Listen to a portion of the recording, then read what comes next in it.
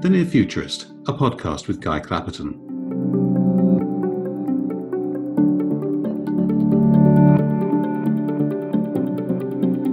Hello, and thanks for downloading The Near Futurist, a show presented by me, Guy Clapperton.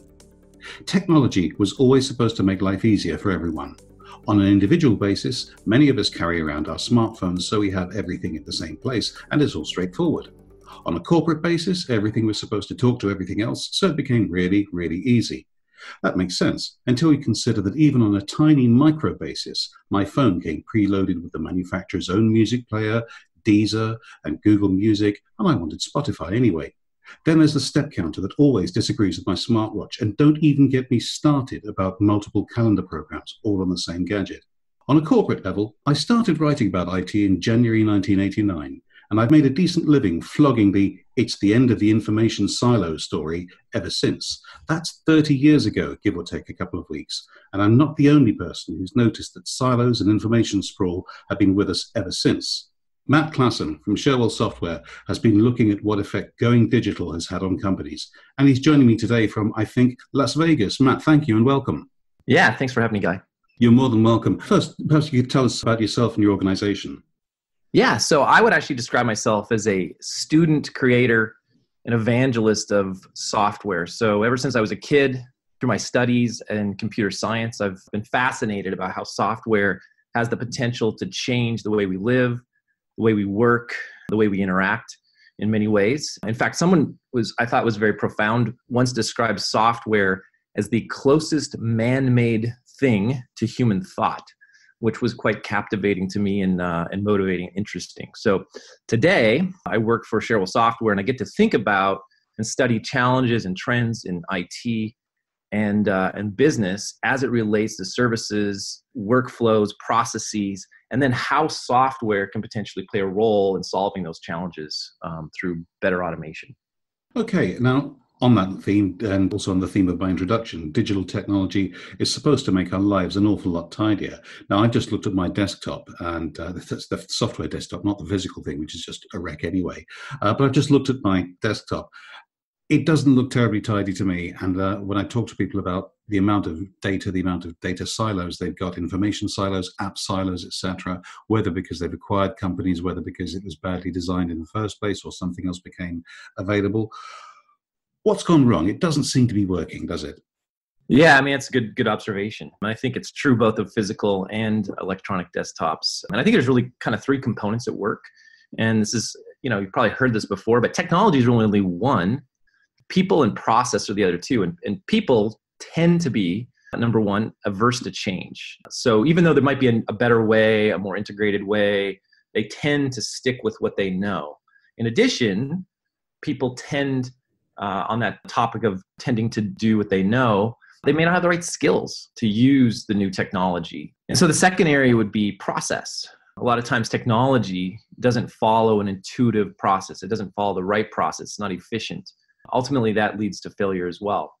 And then, uh, and then, and then, very specific to any machine, or in this case, a device or software, is the interface what is the experience you're having when you use that software device? Is it better than the alternative? Is it better than using multiple pieces of software, which again sort of leads to sprawl and in fact even even is a motivator for people to revert back to sort of manual or analog ways of doing things Yes, I remember I spoke to a director once of a, a major company. Uh, this is about the late 1990s, uh, so this isn't quite as ridiculous as it sounds. They'd adopted Microsoft Outlook, but he decided that he wanted to continue using a paper diary because then people would actually continue walking into his office and talking to him, whereas if it was all on computers, they would just sit there and type. Are those sort of obstructions perhaps an updated version? Are they still real, do you think? Absolutely, absolutely. And I think I think anybody has to kind of sort of look at a couple different factors. So one is efficiency. There's clearly some efficiencies that can be gained. However, when you look at efficiency, you also need not look at efficiency for an individual, but if you're working within a company, you have to look at the group, you have to look at the team, you have to look at the organization, your function within the organization, and then the, and then the larger organization. I think people tend to think about themselves, not the others on the team, not the organization or the, the specific business function or and in, and in many instances who owns looking at those processes technologies across the organization in terms of both the efficiency and then the other other factor would be effectiveness. And I, I think a lot of times, again, people neglect to look at the bigger picture. I wonder also whether people look at the processes that they're doing at the moment and they assume that the, those same processes are going to be effective, but just a little faster when they use technology. Whereas actually, sometimes when people, if we stick with the Microsoft Outlook example, it was only when people really used it to start collaborating rather than use it as a substitute for paper memos uh, that it's it started to take off because it, it, it became something else. I suppose it ultimately evolved into collaboration software. Do you think people get stuck thinking I'm going to do the same thing but with this new tool? Absolutely, absolutely. So I mean, there's there's several adages that uh, have been coined. One is, you know, a fool with a tool is simply a fool, right? With a tool, if you will. But um, if you don't change the process, if you don't think about how are we going to, how is this going to enhance whatever the outcome is, the objective, you know, I think you're I think you're falling short again. Just automating a broken process is sometimes actually leads to more magnification on the fact that the process is broken. Right. So, are we talking perhaps not just about technological change, but about cultural change within organizations? Absolutely, absolutely. I think, and I think so. So, if you think of the organizational level, a lot of times, again, companies look at functions or processes or workflows within a particular business function. And that business function effectively is defined in a traditional manner. And so what happens is people are hired, they're trained, and they're paid to effectively do a very specific function, to fulfill a very specific role, and they're not really paid to think outside that role. I think that leads to a lot of the dysfunction in organizations because who is who is actually looking at how do we do things differently? And if you think about any any large scale sort of disruptive impact in industry, it's because people completely threw away somebody threw away the old they, they threw away that anchor of that old traditional way of thinking and thought, how can we accomplish this goal in a completely different way, more innovative way using technology? So, I mean, a lot, a lot of those, you know, come to mind. Obviously, like Netflix is a great example in terms of streaming media, and actually even before that, changing the way in which you actually rented CDs, discs, if you will, um, DVDs, and uh, and completely disrupted that. Right? Amazon is a great example in, in the world of, of retail. So I think there's a lot of good examples where it changed entirely. That the, the process underlying had to change entirely in order for that disruption to occur. And the other thing I think people do sometimes is they buy in something else which is apparently supposed to sort all this stuff out. And uh, that means buying more technology, which actually, in terms of people not wanting to adopt new technology on the ground, I think you're right, the people are very important in that, just means there's yet another process or yet another silo. And it, if, it, if it doesn't become pervasive, it actually adds to the problem rather than does anything to help. Am I barking up the wrong tree? Is that something you've seen? No, it's absolutely correct. In fact, I think there was an interesting trend 10, 12 years ago that has really impacted this. And so, in, in many ways, you know, this trend of software as a service has done great service, created great efficiencies within organizations. But if you think about it, you know, 12 to 15 years ago, you know, there was this sort of turning point at which if a, a function, a business function, in this case, let's just say sales or customer success or customer service within an organization, if they wanted to implement software to manage the relationships of their customers, opportunities and leads, if you will, for new business, they had to go to IT to implement a very complex, lengthy process to implement software for them. And with the advent, I think that one of the larger ones that everybody sort of comes to mind for everyone is is Salesforce right? They had this big, they actually had this slogan, which I, which is a bit wrong, but it was this word software with a big slash through it, that they weren't software, at least in the traditional sense. Of course, it was software, it was just running in the cloud, it was as a service. And I think what happened is a lot of organizations started buying into this concept. Hey, we don't have to go to IT. Uh, we don't have to spend these, these you know many months and or years and all this money to implement. We can very rapidly adopt new technology. We, it's, it's just a service. We just sign up for it and a day later, a little more than that, but a day later, effectively, you have, uh, or an hour later, a minute later, right? You have software running in the cloud somewhere. And all my salespeople, no matter where they are in the world, have access to this information and this, and this software. And we didn't need, we really effectively didn't need IT to help us. And so I think that's really propagated a really interesting trend where it's empowered the business to go out and solve their own problems But it also, if you think about it, right, they, they probably didn't go back and say, hey, I wonder if our process is broken. Yet another piece of software that's running in the cloud, right, as a service. And there's, in fact, there's a huge number. I've talked to a different couple of different companies that their business is kind of looking at all the traffic, network traffic that goes, goes in and out of the firewall within an organization. And they found that 80, over 80% of the SaaS applications used were not endorsed officially by IT. That means that either they were really rogue or a department or an individual or maybe that you know again one of those business functions just said this is the right thing for us we don't need to talk to it and so it's led to significant sprawl absolutely. Yeah i mean this is where you get uh, I, think those people things keep getting in the way again but sometimes they may have a point. I've uh, certainly known family members and i'm not going to be any more specific than that who've uh, said to me that they've been told they may not use for example dropbox because at that point in uh, time it had some insecurities around about it. But then their own systems were down. So to get file A to file B, the view is very much, oh, who cares? We'll just use Dropbox. It's not going to do any harm, is it? And I think there's quite a lot of that, isn't there? We, we all feel very empowered about these computer things, which if we actually were to unscrew them and open them up, we'd be horrified at how complex they are. But we still think we actually understand them. Yeah, I think it, it adds to a lot of a lot of key challenges with it, especially within the enterprise.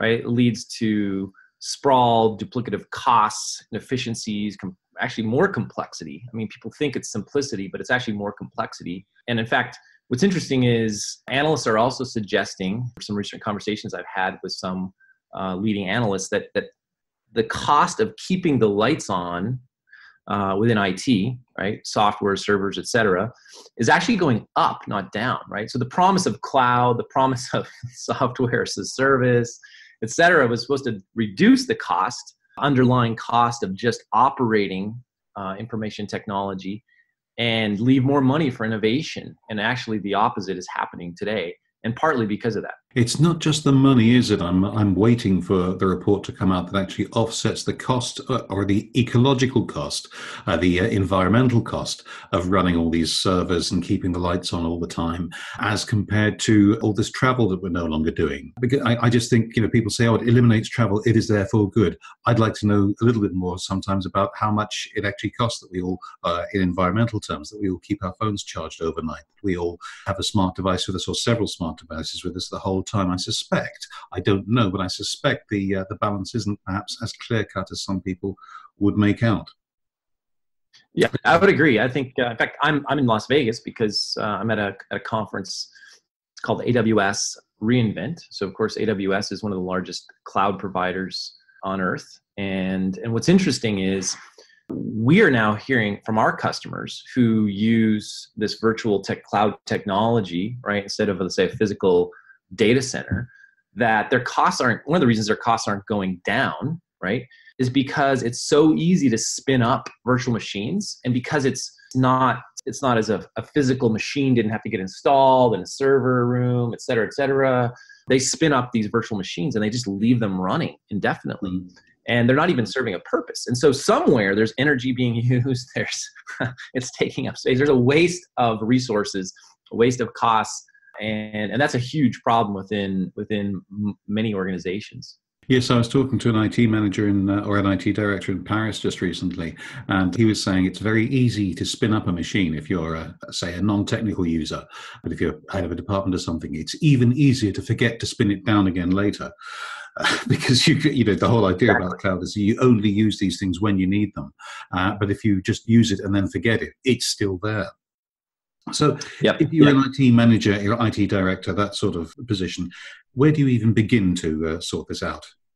So, I think that you know the first thing I think any any IT manager sort of needs to think about is is their organization at the right level of maturity and proficiency in service management. And, I, and I, again, we haven't been using this term in, in this in this podcast, service management. But in essence, when you start thinking about how does work get done within an organization, there's a very very common pattern across the organization, and that is people make a request, and then it's fulfilled by somebody or something, right? It, it could be a request of HR, it could be a request of IT, could be a request and this happens consistently and, and what that shows is that's just part of right processes workflows effectively that need to be potentially automated, integrated, et cetera.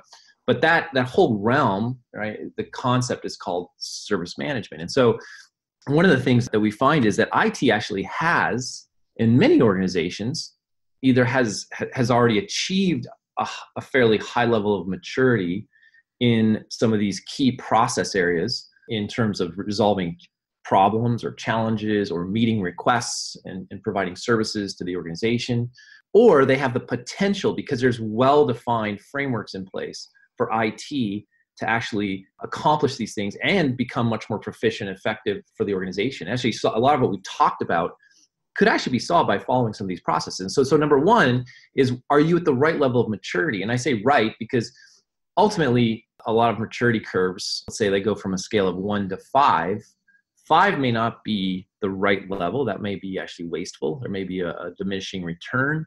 Uh, a lot of times, three tends to be, depends on, again, the scale. But there's a lot of ways to sort of judge are you at the right level of maturity and, and proficiency. And once you are, as an IT organization, I think IT actually holds the key here because a lot of what we talked about is these silos exist within the business in these, in these various functions. And it's natural that HR, for instance, is going to go purchase software to solve their own problems. They may look to IT to help them. They may do it on their own through purchasing SaaS or you know, services.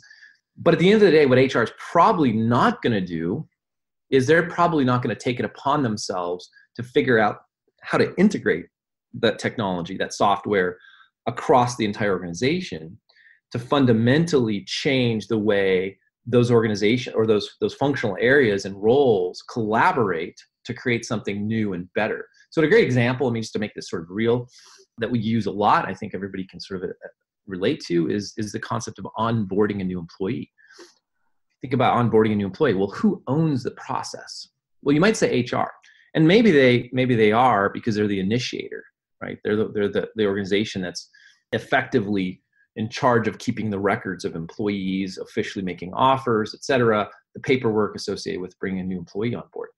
But if you think about onboarding an employee, the goal is to very efficiently make ensure that the employee is productive, as productive as absolutely possible on day one. And yet, many, many, many organizations, that is not the case. It's very far from the case. And if you think about what's involved, there's a lot involved. In fact, it's probably one of the more pervasive processes, business processes that you think of you could think of as a service a shared service across the organization so when you onboard a new employee they need a desk they probably need a chair that might be a facilities thing. They need access to the building. That's security typically right? There's a security group that's in charge of that. Could be under under facilities. They need access to software. They need an id they need email. They need a computer. They might need a phone right? That's typically it they need to be able to get a paycheck. That's payroll. And so even though HR may initiate the process, there's many, many other activities, if you will, deliverables, right, that have to be accomplished. And again, many times we see those are completely disconnected. Some of them are completely manual. Uh, some are literally paper based forms people have to fill out after they get to the company on the day of orientation, which means there's a lag in being becoming productive um, and gaining access to those resources that they need. And so, anyway, that's just one example of you know who owns solving that problem. And my suggestion would be, you know, IT should play a significant role. Okay, and uh, if you're the end user or, or, the if you're the new employee stuck in the middle of all this, so is the answer just to be patient or to accept changes and not to resist changes that your employer has put in place, you know, just so that this sprawl t- doesn't happen? How how can we help as individuals? Do you think? So there's a couple couple pieces. First of all, there's the individual within the company, right, that have already gone through this process, and many of which could and should be potentially empowered to solve it. Obviously, there's the employee being hired, and again, I think I think you flip it around and you think about everything we do from an IT and technology perspective. We should be thinking about the experience from the end user's perspective. Again, we think about experience a lot of times. We think of consumer consumer experience, but we can take that those those, those same concepts and apply it to the new employee being hired what is their experience? How how can they very efficiently gain access?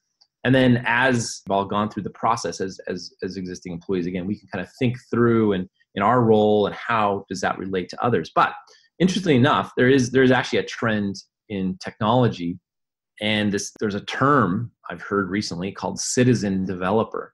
And what does that mean? It sounds like a government thing. The reality is, a citizen developer is simply somebody in the business who's been empowered to actually automate workflows and processes. And there's a there's a whole new set of tools that are coming out. Some some call them low code or no code. Uh, some call high productivity application development as a service, but that sort of empower the business to sort of better integrate, better automate processes and i think again i think you know organizations can really could really see some huge advances as they think about how they adopt platforms that allow them to easily automate and integrate processes across the organization and put that power in the hands of those that really understand those processes the employees um, the new hires et cetera yeah, and people who actually understand the processes rather than people who want to have a degree in computing and sit in front of a very complicated screen. I think that's that, that's important. It is all about the experience, as you say. So, where could listeners find out about what uh, Cherwell in particular offers?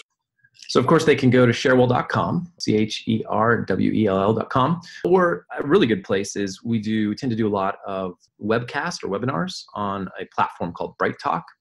And, and these are really just about not necessarily our technology as much as it is about how you know kind of our point of view how we see customers solving these challenges patterns different ways of thinking about the problem and improving process. And that's a great place to go. Thank you very much. Matt klassen of Cherwell software thank you very much for joining me. Thanks guy. Appreciate it